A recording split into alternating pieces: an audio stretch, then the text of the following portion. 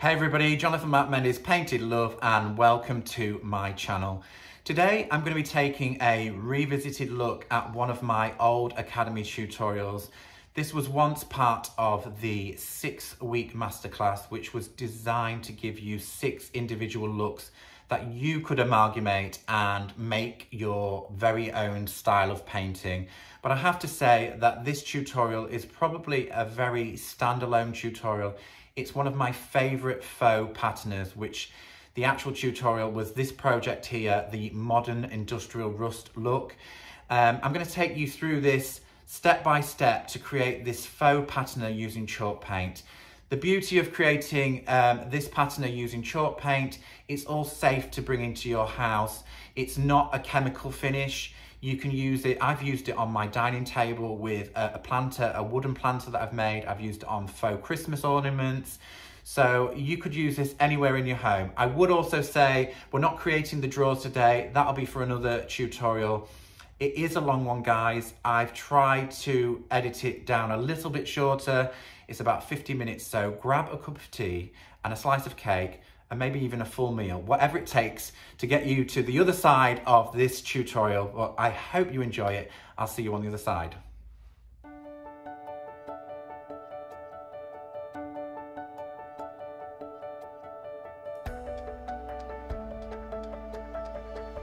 Okay guys, so let's get stuck into the tutorial.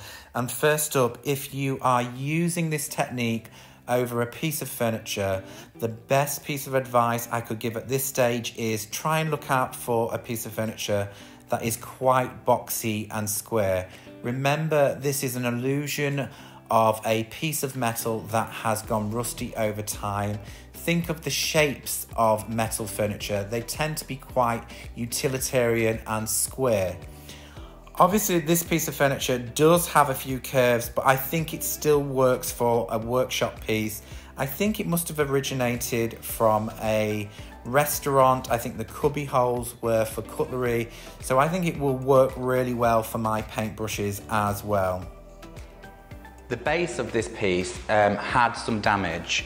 Um, I've decided, I, I decided to quickly knock up a new base and I've just framed it basically out of a, a cheap piece of pine um, I'm not going to worry about the colour of that because it's going to have a lot of paint on it anyway. So that's why you're seeing at the bottom um, a real different colour in timber. I've removed the back of this piece just because there's a lot of different cubby holes that we need to get the paint into so we can paint from back and front. Um, it's always used, a lot of bureaus, um, have this sort of thing where you can take the back off, unscrew them and bring the inside out and paint it much easier. So that's why the back you can see through the project.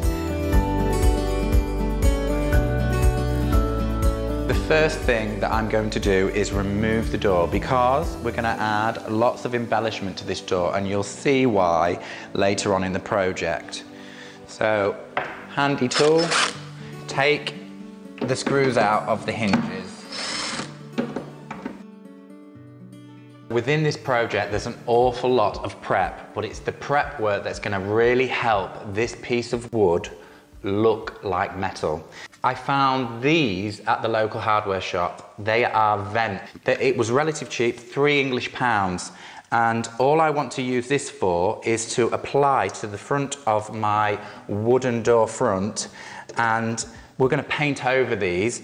And there's also other little um, things that I might add, we're going to add a, a handle. Um, these are cup handles. Lots of people use them for furniture. There's different ones. I've got metal ones and I've got a small aluminium one. I'm not too sure which one we'll use and where we'll apply them. Um, I do think that I'll probably go for the cheapest one because it looks more molded and I want it to look part of this piece of well, wood, which will end up looking like metal. As furniture upcyclers, we all know our way around pieces of furniture, and these things are things that I pull off the bottom of chairs.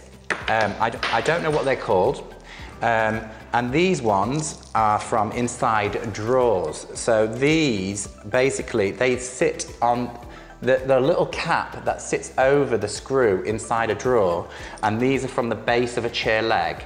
They're little pins that you hammer into the wood, but they're perfect for this rust effect. We're going to pin them into the wood, and these are going to give us a metal rivet. So this is a, a, an interesting little hack to, to make our wood look more like metal. To make this a lot easier on ourselves, we're going to use double-sided sticky tape to apply this to the place where we want it. And we're still going to put the screws in, but what that, this will do, it will help make sure there's no lift off on the edges of the uh, metal vent. Um, so it gets to the edge of your vent. I don't like double-sided sticky tape. It gets everywhere. It's not easy to cut with a pair of scissors. It doesn't have to be too neat. There's going to be an awful lot of paint over the top of these. And don't worry that you'll be able to see into that because I've got another technique to hide all of these things. So make sure it's the right way up. The hinges are that side. Yep. Good to go. line it up with the edges of the detail. Happy with that. And push down and it makes sure it's nice and firm. And once you're happy, we can, I've got some little screws and we're going to screw them in. Because you want the screw heads, because this is all about making it look as if it is a piece of metal, that this always intended to be here.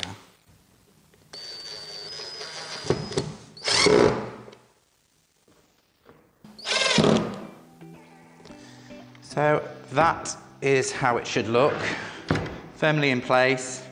What I would say to you is if you've had to cut the edges of this vent, just take a little bit of sandpaper and just sandpaper the edges. You've got no sharp edges and that's good to go with the paint.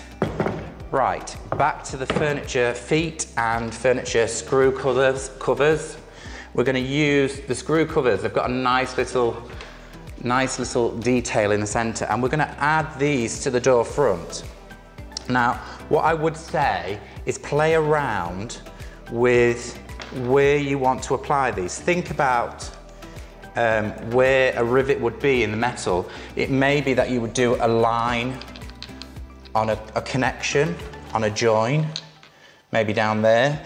I find it looks much better on the, on the front of the door, just evenly sp uh, spread around. So I'm going to use six just in that middle panel. Um, and I'm, I'm not, I'm gonna guesstimate where I'm gonna put them because it's organic, it wouldn't be uh, neat. So we're gonna uh, apply them to there. I think that's what makes me happy. Yeah. So all that, all that requires is a hammer. So these little things have got little pincers so we can just literally start hammering away. and move these off so they don't jump and that'll be where the first one goes.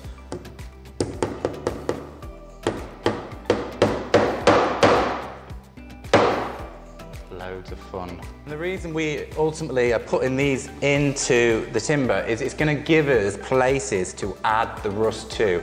These are all little uh, failures in, in the metal which where over time rust it, it gathers water so the failures of where these are are going to get more rusty and more cruddy and so we're going to be able to add the colours that we want around those areas.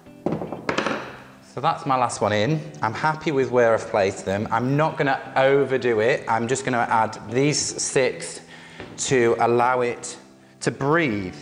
Um, going back to the handles, um, I've really have decided the cheapest handle I've got, it's the most moulded and I think it really will work. And it, the thing is about the handle, the door opens from this side. You can see where I filled. I can't put the handle there. I just don't like that look. I want it to be centralized. These cup handles always look better central. So there should be enough to be able to get leverage on the door from the center anyway. So that's where that's gonna live. We're gonna screw that into place and then we're almost good to go.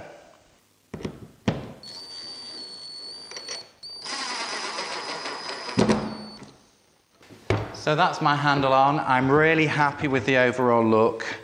Uh, now we have to do something very interesting. Now I don't normally use spray paints and it, they're not my favourite for the VOCs and I don't like to breathe in those nasty fumes but we're going to have to apply some spray paint and the reason being I do not want this metallic to show through and I sometimes do this an awful lot with hardware that I'm painting over. If I've got a chrome finish and I want to make it vanish I'll just give it a light misting of um, a, a, spray paint over the top, a brown or a black. So we're to take this outside the workshop to do this.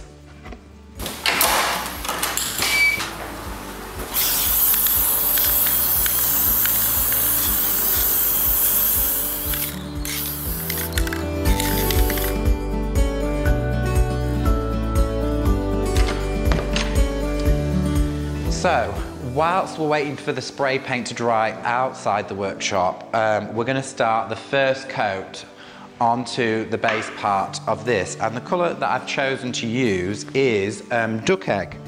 Um, it could be any colour. I, I, want to get the look of um, paint that's maybe chipped away over years. So I'm going to try and keep the top quite duck eggy and then the lower part's more rusty, so where the weather would catch it along, um, along the base of the unit. All we're gonna do is, I'm not even gonna clean the piece. Um, normally I would always say, soap spirit, clean your piece first. Um, but in this case, I'm gonna leave all of the dirt and the gruff because we're gonna add lots of texture to it. So um, I'm going with uh, an old can that I've had open. It's quite thick, so I don't mind the textures. And I'm using my uh, middle-size oval Annie brush. Um, later on in the process, we may use a large chip brush to get the texture into the paint, but I will explain what I'm doing as we get there. So for now, we're just literally getting a coat of paint inside and along anywhere we want it to be. And it, you can be as messy as you like with this. For this job, it is messy. The inside of the piece, I'm going to just leave as duck egg. It, it'll just basically freshen up the inside, but the outside is obviously where the rusty, decayed look is going to be. The back section, I will also paint duck egg, and I think I'll just leave the back duck egg. You may see a little bit of the back, but I'm kind of thinking the weather would never reach the back of this. So the rain wouldn't reach that back part. So I'll allow that to be duck egg. It'll be a good contrast. I'm not going to be neat about it because it's the little failures in the brush strokes that's going to really make the rust effect look quite cool. Just really want to get a good coat of this on very quickly. These things are never fun to get into, but if I go around the back, hello, you can see I can easily get my brush lengthways. Ooh, big spider. Big spider, hello. Hello, Mr. Spider. Where did he go? Save the spider. now have a spider with blue legs. Duck egg blue legs is bang on trend.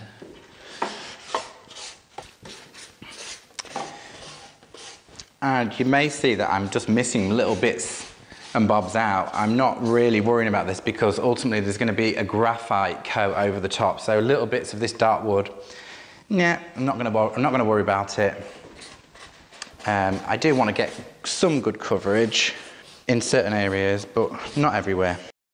The use of my medium Annie brush really cuts the time down in getting this first coat on.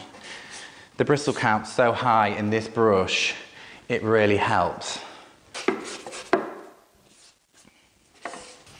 As you can see, I've nearly finished the first coat and I haven't taken too much care with this first coat. There is a few areas that I'm gonna go back and touch up like at the back of the cubby holes, um, because I'm not going to allow the rusty bits to go down to the back, only the front surfaces.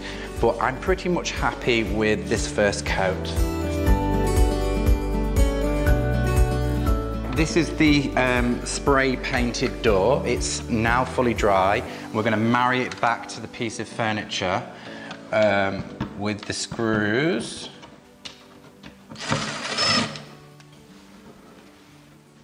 And there we have it. You can almost see where we're going with this look now. Um, this is going to be painted out, but it's all, almost got that industrial look, which I'm quite happy about. So let's carry on with the duck egg over this, and then we can get to the interesting, exciting part with the graphite and the rusty tones to come after that.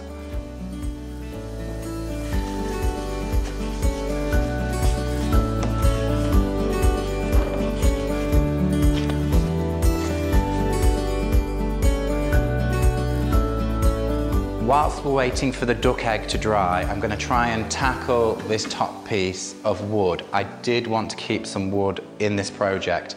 Now, what will happen will happen. I don't know what's going to happen. I suspect the it won't, the paint will not soak into the grain. It's quite tight grained, and I haven't sanded it very well, so there's still bits of varnish. But I'm going to leave that because I think what will happen, it'll add lots of texture and, and quite, I want it to look worn. And I think by not taking everything off, it will do. So we're going to add a wash of graphite. Now, a very, um, I, basically, I'm not going to mix too much water to this wash. I'm just going to apply a little bit of paint to a bowl. And I'm going to go with a water spray just to loosen it a little bit. Um, and mix it round. I've got a couple of cloths handy, so we can take it off. If, if I'm not happy with it, I'll take it off. Um, we'll just see how this soaks into the, the, the timber. The stronger the paint is, the more coverage you're gonna get. Now, if this was very porous and most of the varnish off, basically it would soak into the, the timber. You'll see around the edges it will do that. I need to add some more water to the bowl. Add a little bit of water to, to, to that as well. I'm not going to worry about my duck egg bits at this point because we're going to be putting graphite over them in a little while. Basically, I just want to add some more tone to this piece of wood. It's a stain into the wood, but I want it to look like antique timber that's had a life. What I'm trying to do as well, any of the little knocks and chips is push the paint into them and any of the porous areas. And I'm gonna take a slightly dampened cloth and we're just gonna uh, stroke over the top just to reveal some of the original sort of tone to come through, some of those orangey tones. It's just to add a rusticy twist to the timber. So it, it is staining, I'm quite happy with it, but I want some of the grain to come back the edges are quite nice. And you can see where some of the dark stain is still there. They're quite nice, they're quite chippy. That. And then after this, we're gonna also add a layer of dark wax. So it's gonna add another layer of texture and depth to this piece of wood. I quite like the fact that it's darker at the ends, so I'm gonna allow it to be a bit lighter through the middle and a bit darker at the ends and it's picking up all of the, the um, marks where it's been scratched over the time and I really like that. This is great patina for old timber. So that's a great look for me. So I'm gonna leave it at that. We'll allow this to dry and then we will add maybe a touch of clear wax and lots of dark wax to add another layer of beautifulness to this piece of timber. And then we're gonna have to cover this up while we work on the bottom half. Whilst the cameras weren't rolling, I decided to put a top coat of clear wax to protect my graphite wash on my timber and I'm super pleased with the outcome. We may add some dark wax at the end of this tutorial, but for now we're gonna work on this rusty technique um, and we're gonna work on the bottom half of this cabinet. And this is the bit where you're gonna think, it looks nice, stop, you've gone mad but it has to be done and it's a, a, case of trusting in your confidence and building these layers up. So you really have to go with it and we're gonna start with a coat of graphite. So I'm using a little roller tray and the reason I'm putting it in a tray and not from the can is that I want the air to get to this paint. I want it to go thick and cruddy and as we work with it, it will add texture to the, to the uh, overall piece. So literally pour, pour out your paint into your roller tray. And with this, I'm going to use two brushes, and the little nodules on the, on the roller tray will help uh, allow me to take off excess paint. So that's why I wanted to use this tray. And I'm also going to use a thicker chip brush. The reason I'm using cheap chip brushes for this part of the project is I'm doing a lot of stippling. I don't want to damage my oval Annie Sloan brush. Um, it's much better to use something cheaper. And you'll find little hairs might snap off and all texture and it'll look great, it'll look gorgeous into the paint. I'm going to come down and work from the bottom. And literally I'm not going to worry about it. It's a bit dry brushy, it's a bit texturisy, we can stipple it on. The idea is to get texture into the paint. And it doesn't matter if ultimately we leave the odd little bit of duck egg poking through, but we do need to get quite a lot on and quite quick because otherwise it becomes tedious. So we just want to get as much on as we can. And yes, you think, oh no, what is he doing? But it will all make sense. And as you can see, certain areas, I'm getting the brush and I'm stabbing it and adding texture with the paint. If you look at rust, rust has got lots of um, texture in it it's, and full of different colours. And we, when we come to the other layers of colour, that's what we want the paint to sit into, into those layers. So I'm adding those crunchy textured looks with the brush. Also, I've thought about this long and hard. I don't know whether I'm going to go right into the back of these pieces. I'm just going to work, stand back, take a look at my work and, and, and, work out where I really want to. I really do want to put the dark and the rust into the front of these because I, I would like to put trickles of um, uh, Barcelona orange or Arles to sit in these indentations. So I do need to have some of my dark, dark paint in there, but I don't know if I'll do all the way to the back.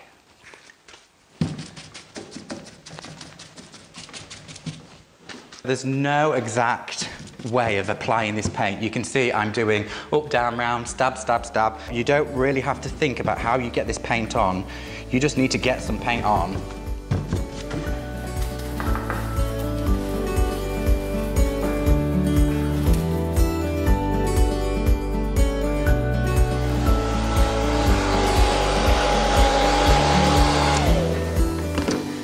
So I've been using the hairdryer to, to semi-dry this really. It doesn't want to be completely dry. It's a, an interesting thing to do, but I'm gonna take some sandpaper and just basically rub some areas off back to the duck egg. It's a good way of distressing when it's not quite fully dry. So you'll pick up rough sort of patches along the edges it will just pick up where it wants to pick up. So this is adding sort of those duck egg patches. There's a good bit here it's quite wet, so... And if there's anything that you're not too sure about, you can go back with your paint and kind of block it back out. But it's a good way of allowing this to be a bit more organic and let some of that duck egg from the original tone to come through.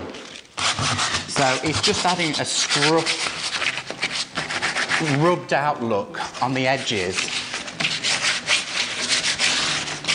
So there's some nice stuff going on up here. I'm quite happy with that. And of course, again, when you wax this, it'll really come to life.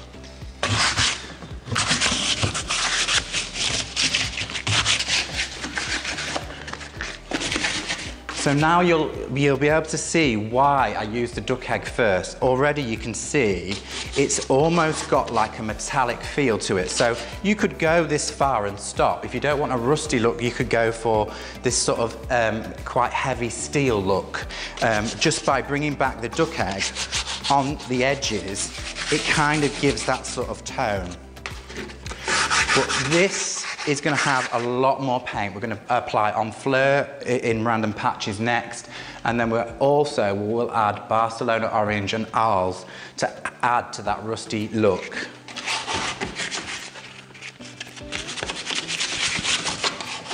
There really is no rhyme or reason to this. You're just basically taking some of the paint off in certain areas this way of distressing, there's no right or wrong to it. You're basically allowing it to be a bit organic.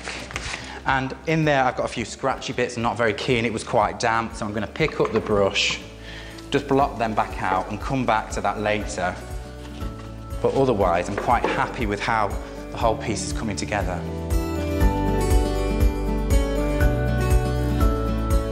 I'm super happy with the outcome of the sandpaper bringing back these lovely chippy bits of paint of the duck egg shining through. Um, so I'm really happy with that. And if you want to stick with that look, you can do, but this is all about the rust. So this is my recipe for rust. Um, Honfleur, Barcelona orange, we have primer red and Arles. These, if you look at rust, all of these tones should be within a rusty piece of metal. And you, they will come in different amounts. So you might see more Honfleur or more Barcelona orange. Usually, if you take a really close look, you'll see sort of an Arles Barcelona orange trickle where the, where the weather is caught the, the, the, the decay and it's dripped down. So that's where you'll find those really bright oranges usually. Um, so let's start putting these tones to the piece of furniture. I'm going to start with primer red because I want this tone to be deep within the rust. And this has been in the workshop for some time. It's not a colour that gets used very often and it's gone, as you can see, it's gone lovely and thick. So I'm putting it onto an old plate and we're gonna go back with the original brush that I was using earlier for the graphite. I've only just wiped some of the graphite off. And we're gonna, same again, we're loading up the brush in a stipple motion. You can see this is what we wanna end up with when we apply it. And it's, again, it's, it's all to do with choice of where you apply this. So we're gonna use this as a, a guide to ma mark out where we're gonna put this rust. So we're gonna start lower down, and we're going to start here. I want to allow the duck egg, I don't want to go over the duck egg, I want to allow that to come out in certain areas. So I'm kind of rivering it up through through the areas and trying to miss some of the duck egg. So plenty down at the bottom, here and here, but still leaving the edge of the duck egg. There's a nice area here this, I'm not gonna put too much of this tone into the whole piece because I want it to vanish deep beneath the Honfleur. Because Honfleur, you could just go with Honfleur and it looks like rust alone without the other tones.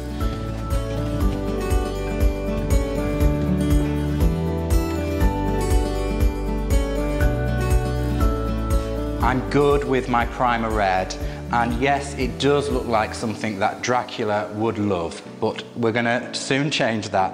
And so what I've done is I've mixed up a little bit of Honfleur with graphite. So I've got a darker brown, uh, a richer brown, and a little bit of Honfleur to the other side. So I've got two tones, and I've put them all in the same plate, and I'm still gonna use the same brush.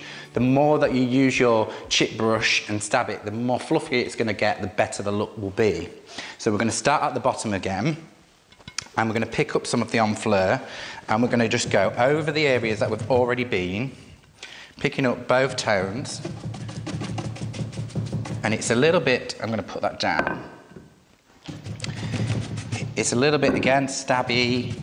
Just go over some of your primer red, let only little pieces of this show through, and this is building up the brownie tones of the rust. And I didn't wait for these to dry. I'm just literally going back over to build these tones up. And this is the hardest part of the whole thing. At this point, you really do feel, oh gosh, what am I doing? It looks so wonderful, it's duck egg blue. And it, it, it, really, there's a moment in this where it will change, and all of a sudden you'll go from seeing a mess to seeing rust. And at the moment, I can't see it, but the more that we build, the better it'll get.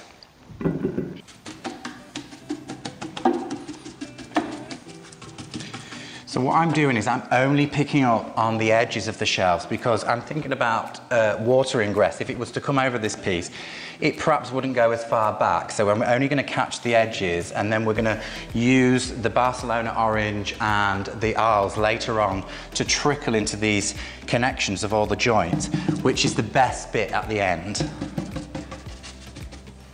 So I'm going to keep on building the tone here so you can almost see how this is going to come to life as rust. So I'm building up to the top. So there's going to be more of the, the Honfleur breaking through from the bottom to the top.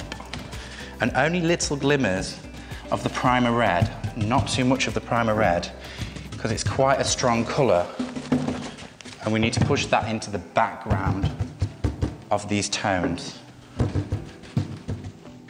I just picked up some primer red there, but that's fine. We can go over.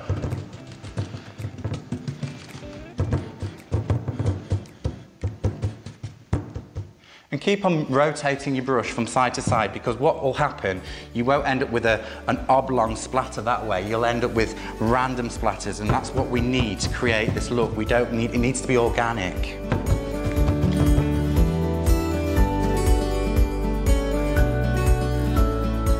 right after a long time of stippling to get this second layer of stippling on, because I've used quite a lot of um, Honfleur, I'm quite happy with this look. So I've taken quite a lot of the duck egg away, and I don't know whether this will work, but I've, I've got my sandpaper, so we might just still keep on coming back to reveal little bits of the duck egg as we go along because the paint's still got moisture in it, so it should just knock it back. Can you see? So you can still keep on working this, allowing it to come back, because we don't want to lose all of that loveliness in certain areas, like on these edges. So you can keep on working with your quite coarse grit sandpaper to bring some of that back, whilst it's still got moisture in it. But for now, we're going to work with these two beautiful tones. They're very underused, and one of, these two are my favourites. So I've put, as you can see, I've put the two on one plate, and we're going to pick up half and half on the brush. So I'm going through the middle, and I'm tapping them off. notice as well, the Honfleur is still in the brush. So it's almost like I'm just using one brush. I'm not washing in between. I'm just picking up the colours to build up the tones. So here we go. There's still moisture in the Honfleur, so I'm to go at a light touch and just add a little bit in, um, building the tone up. So you can see it's quite spotty. We may need to get the hairdryer and dry this layer and then go back again and again. But it's basically build up and pick up a bit of each colour there's going to be rust, more rust along the bottom of this piece because the water ingress probably would have sat along this edge. So I want to make sure that there's real orangey stuff at the bottom, real deep orange. So I'm picking up more Barcelona orange right the way along this edge. And then a bit of Arles above.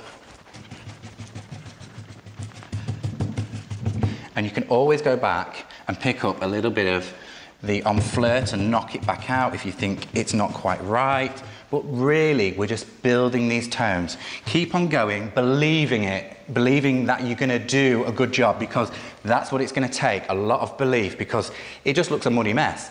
But in the end, it will come out beautifully, just like rust, I promise you.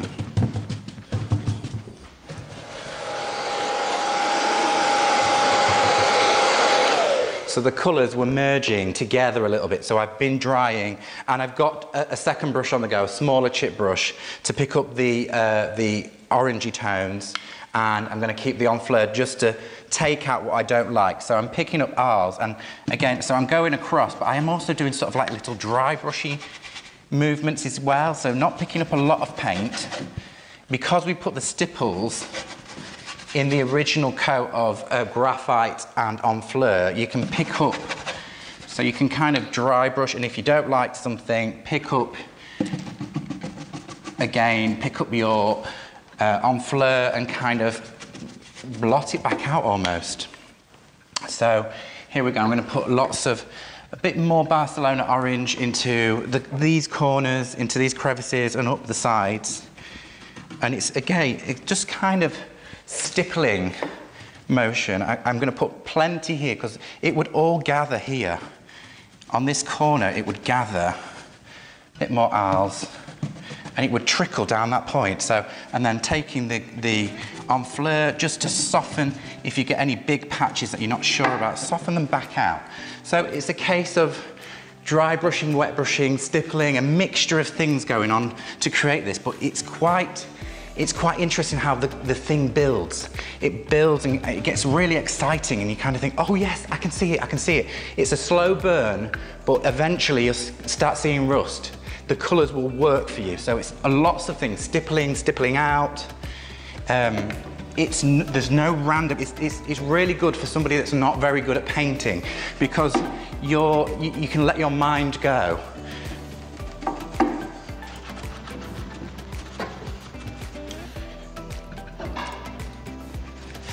Right, picked up too much, brushed it in. This is a good point to show you. Oh dear, what have I done? Pick up the other tones, back out.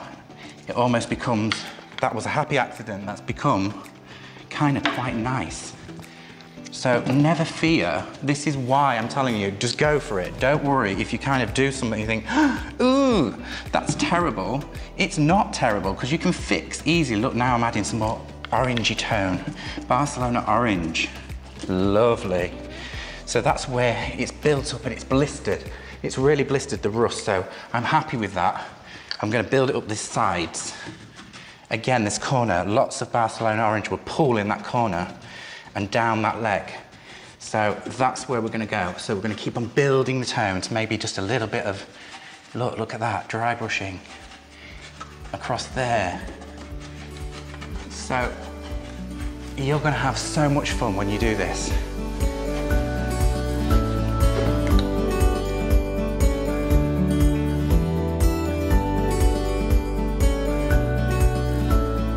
After another 20 minutes of stippling with the three colours, Honfleur, Barcelona Orange and Arles, this is what we've come to. And I am super happy. I can see it almost looks like it come off the Titanic now.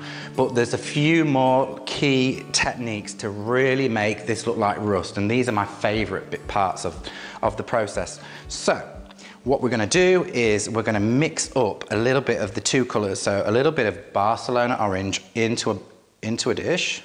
We don't need much of this. A little bit of Arles to the other side. I'm allowing it to trickle over the edge of the, the bowl there because I can pick up some solid colour because these two in the middle we're gonna, we're gonna water down just a fraction. I'm doing it with a, a plant spray so I can see how much that I've watered it down. I'm quite happy. It's really a consistency, a real runny it needs to be like single cream really. So you, you can probably hear it sloshing about there. Yeah, so it's making a, a, a bright orange. This is the, the real rusty stuff that trickles down the edge of an old piece of metal. I'm happy with that. So I'll leave my brush at the bottom here. I'm going to pick up a smaller brush and what we're going to do with this, we're to, we're going to apply these to certain connections. So I'm going to apply in this connection, this connection, all of these connections where it would kind of gather. So we're going to allow, like, allow it to head south. So it's going to get messy. You, you want to cover your floors because we're going to tip this up and spritz it and allow it to trickle. So all I'm going to do is this runny solution here, I'm just going to go in and from the back, I'm going to push it into that crevice. I'm going to put more at the back here, allow it to just trickle into that gap. And I'll pop that down for a moment and pick up your spray again. So you might want to tilt, tilt your piece up and don't worry about the rest of your piece where you've painted it, it'll be fine. Look, can you see how it's trickling out? So you might need to soften it a little bit with a cloth, play around with the paint a little bit with the cloth, so you can add a, a little bit of stippling motion just to break that harsh line up. But that is all I'm gonna do, is allow it to trickle and blend. We'll do a, we'll do a section on the front, so this is, this is where it's going to happen much easier because obviously it's heading down anyway. So we'll take right up in this corner, we're going to go up here, apply the paint, quite heavy in this corner, and you'll be able to see this happening. And then we're going to pick up the, the moisture. And you see how it trickles and pulls? These are all the things we want it to do. Just going to soften that edge. These would gather, you know, you could paint a little bit round over the top. This is where the magic happens. So we allow the moisture to run down. You don't need, you need plenty of paint because if you allow it to rinse away too much, once waxed, it will be invisible. So I'm quite happy with that amount. We'll go to the other side. We'll apply here underneath things, maybe along there a little bit, and spritz. And we'll come down a little bit and we're going to do over this vent. Now this vent is, there's loads of places. This is why we put the vent on. So there's lots of places for this to pull and sit. And the little dribbles on the edge of the bowl, I'm going to pick more Barcelona orange up on that bit. So that's a bit more solid colour. We're going to just tap it into certain areas like that. It's going to create a really random splodge and I'm happy with that one. Can you see as well, it's hitting this, this bit along the bottom, so we'll add more in, up that side.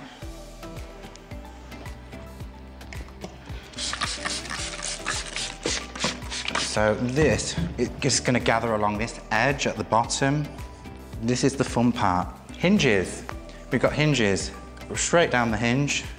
Of course, it's metal. It's gonna catch the weather. And we're gonna catch Lots of lovely trickly stuff. Don't worry about your other paintwork. It will, it will be fine where it is. So if you've got any harsh lines, just take them off and play around with it a little bit.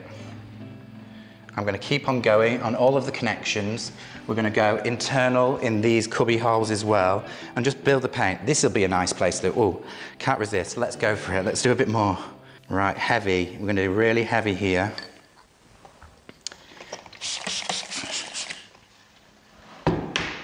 You see that magic? Blot it away. So this bit is really lovely to do. Straight across the handle, a little bit underneath. The handle will gather the weather. So allow it to pull, trickle down you know, I don't like these harsh lines, so we're just going to stipple it in with a bit of old rag. This is what I was using earlier with the graphite, so I'm only happy when I'm getting messy. And we're going to go down this horizontal line now. We're going to build the paint up at the top on the corner and straight down in a line. Spritz allow the water to do its thing.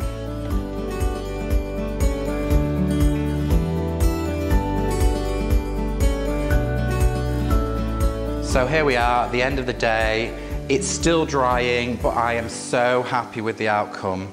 There's just a couple of last flourishes to do. So I'm gonna add a figure on the front of this cabinet door. I'm gonna add a number five in this. This is why I've left this blank area where I haven't done too much distressing or too much of the, the Barcelona orange or anything. So I'm gonna add um, a little stencil. Number five, I've chosen. Hang on, I've got sticky fingers don't want to put this over the top right. So the number five is going to sit here. I'm going to use old ochre. Um, and all I'm going to do is I'm going to use a little Annie roller, but I'm not going to use the roller. I'm just going to dab it in. Um, I don't want it to be perfect. So all, all, if you can see, I'm just loading up the roller here, the end of the roller, and tapping it dry on there. This is very quick. It's offloading, tapping on, offloading, tapping on. And that should be enough and I'm going to come in here. I'm going to line it up where I want it directly central. You could measure this, but I am one to guesstimate everything. It looks a little bit more natural. And we're just going to tap it in. And I don't want it to be solid, I just want it to be a little bit random. So it fades away at the bottom maybe. and reveal. There we go. I'm happy with that. And now we're going to roll on to another little hidden technique. I use cinnamon to look like rust. So we're going to apply to certain areas like on the knuckles of this handle, maybe on, on anywhere that I might have pulled off too much paint, I'm going to add some cruddiness with some cinnamon and some decoupage medium. Now normally you, I would do this tilted up on end, but I'm going to um, and sprinkle the cinnamon into the glue, but I'm going to mix it in a bowl and, and dab it on with the brush. So you could do either or. So again, just don't dip your brush with cinnamon on into your decoupage medium. You will ruin the whole jar. So I'm tipping out a little bit into here. That should be enough for me. Put the lid on, put out of the way of the cinnamon. And I've just got ground cinnamon. So I'm sprinkling my cinnamon into the bowl so I can play around with the two in the bowl. But you could put your glue on, sprinkle over the top. But this is how I'm gonna do it. I'm gonna mix in the bowl, got a little artist brush, and we're gonna mix it up and make a, a powdery dust. Smells absolutely beautiful. And we're gonna pick up the glue and I'm gonna go in here and just tap this into little areas. The glue will go transparent, but the cinnamon will add a little bit of crunch and texture. It's a lovely color once dried. And of course, you can just, over the top, you can wax the whole piece and it will just blend away. So it's literally adding little bits of texture and crud into certain areas. So you could do it along maybe in, in the corners of these areas and just add a bit of texture along the top of here. Pick up the glue, then pick up the cinnamon. So I'm not gonna cover the whole piece, I'm just gonna pick a few key areas. To be honest, I'm really happy with the way it looks, but I wanted you to know this technique. You can use it on smaller projects, maybe uh, an old uh, a candle sconce or um, a light fitment, maybe anything that you, you know might work, sort of that metal sort of rusty patina. So I'm generally just picking up a little bit of glue and then tapping in the cinnamon, which smells absolutely gorgeous. And if it's near Christmas time, your whole house will smell beautiful. But you can see how it's balling up, making little balls of things. You will need an old brush because this brush will eventually get all cruddied up, but I quite like that. Rust actually flakes away. So this is gonna give you this flaky stuff, which looks really awesome. If you want to bring this into your home, once waxed, it's going to be totally safe to be around your soft furnishing. So when would you ever bring anything into the home that was rusty in fear of damaging those things? So now we can have that industrial look in the home that also smells beautiful.